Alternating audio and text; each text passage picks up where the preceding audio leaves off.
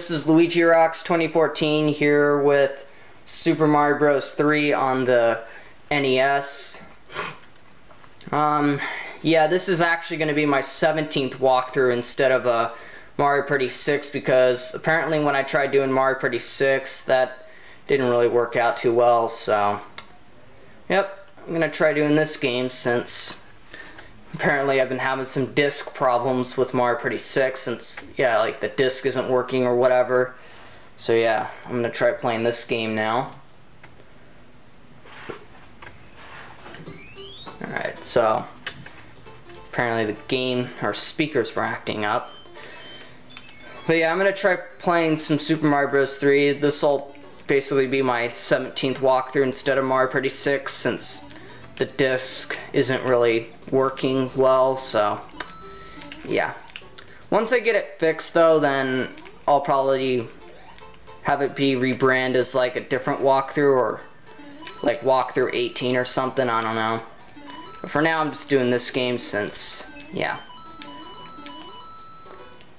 And just so a lot of you guys, just to be clear, this is not the Wii version. Like this isn't this game is not being played on a virtual console or nothing like that. Yeah, it's not being played on the Wii, it's not being played on the Wii U or 3DS. It's also not being played on an emulator either, so just keep that in mind that this is actually the actual NES version that I'm playing it on. And why am I playing this on the actual NES? Well, not very many people, I guess you could say, own this game on the actual NES system, so most of the times people have to like buy this game on an emulator or something because for whatever reason they can't seem they don't no longer own the NES version or never even never even owned an NES console. So with that said, I'm gonna be playing this guy this game on the actual NES. Ugh. Hate it when I mess up on my words. It's so annoying. So, as a lot of you may know, with this game, um, unlike the other versions, you can't actually save or nothing like that. And I guess one of the reasons why many people play this game on an emulator or virtual console most of the times is because you actually get to save on most of those consoles. So, yeah, I don't know. I don't just, I just, I don't know why you can't even save when playing this on the actual NES, but yeah, apparently you can't do that, which is ridiculous.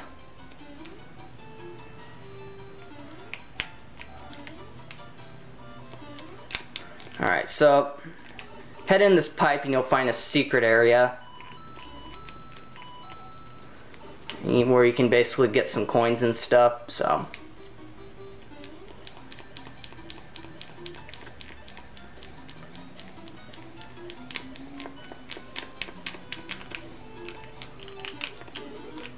Alright, so gra grab the star and then make your way to the end of the level. And there you go. That's level 2. I'll try my best to actually show you guys every single level and stuff, but I can't really guarantee that because for whatever reason this game um, you can't like save or anything like that, so or since I'm playing this on the actual NES and not like an emulator or nothing like that, I can't like use save states or nothing like that, so that's kind of the big problem with playing this on the NES is yeah, you can't use save states.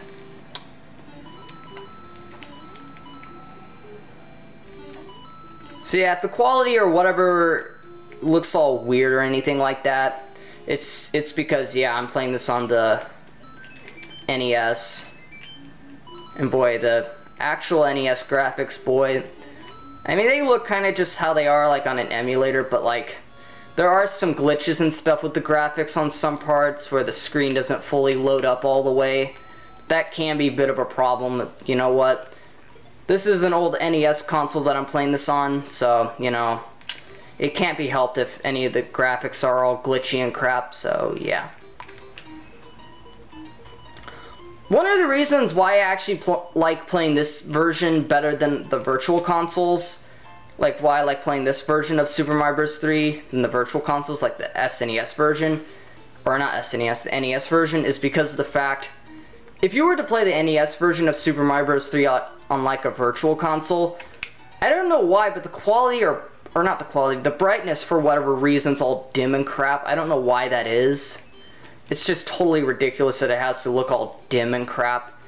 Even the Wii U Virtual Console is like that too. I don't know why.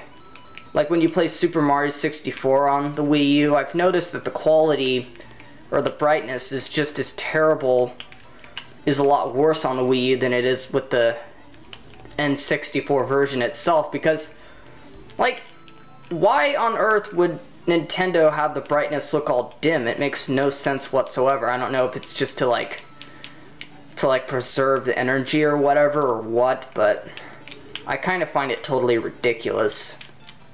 So that's why I prefer just playing the actual versions of these games more than just playing it on the newer systems like the virtual consoles or whatever because I just don't see them as any help at all whatsoever. So yeah. Anyhow, so that's level 5 and watch out for the boomerang.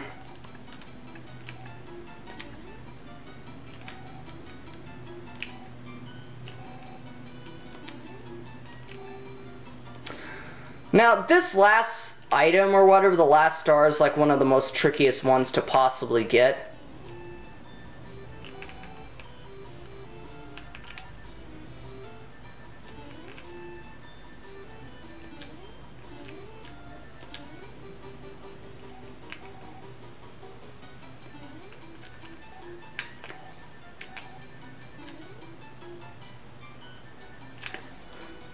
Honestly even forget how to get this star because I don't even remember how it's supposed to work.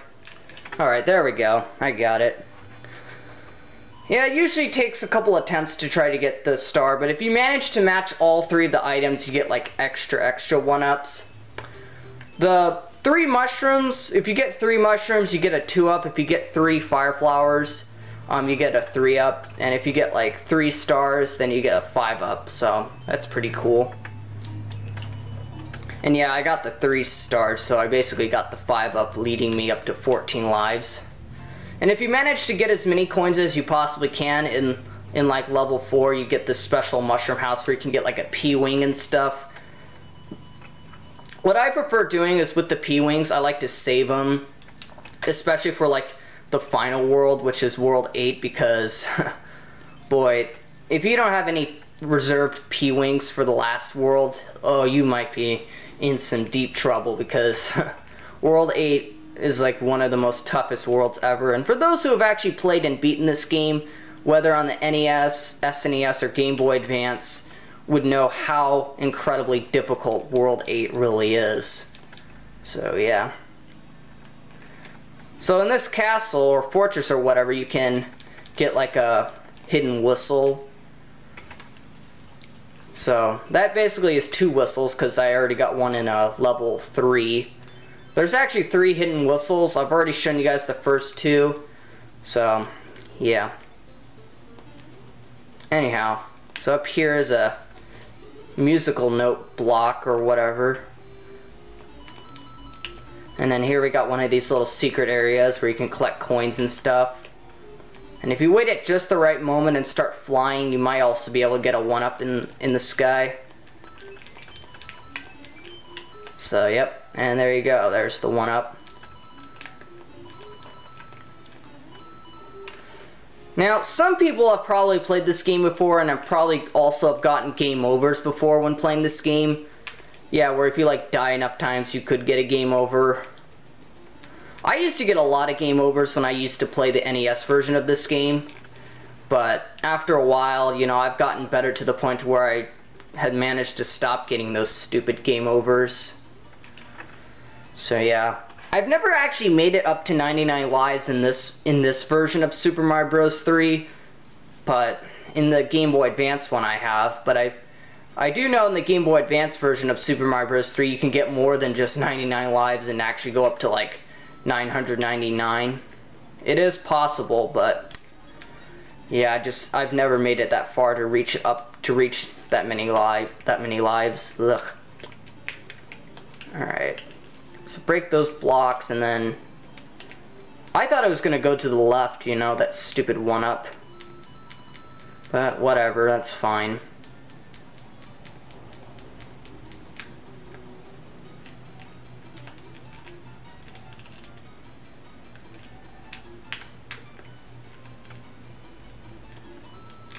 And you know, I thought I actually had gotten that star, but I guess the game glitched on me. So apparently even if so apparently if you don't manage to match all the items, you're just gonna get a one-up and stuff.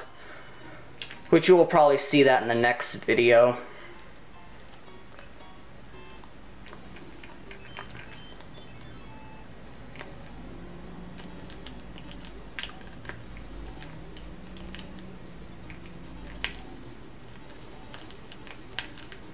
Alright, so over there you can get yourself a star and then yeah.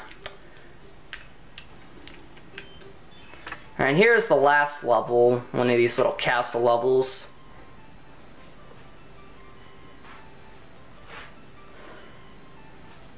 Yeah, and the king's been transformed.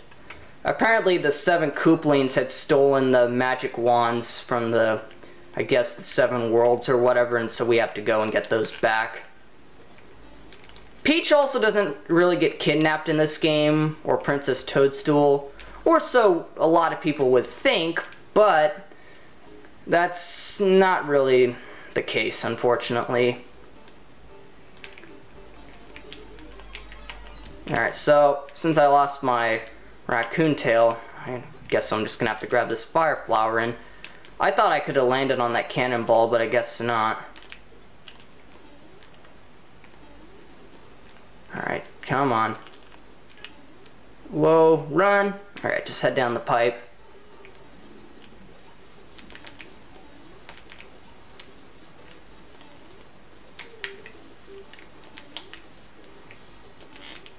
And there we go.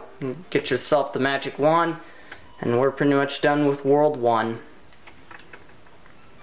And no, I'm not going to always do an entire world per video, or at least not with all the parts, but because some of the other worlds later on get tend to be a lot longer, and so it takes like several parts to try to finish that world.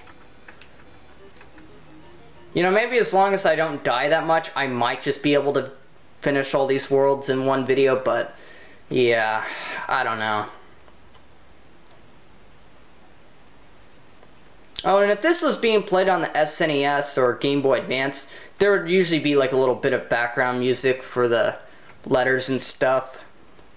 But since this is the NES, apparently that's not really how it goes. Alright, I'll see you guys next time in World 2.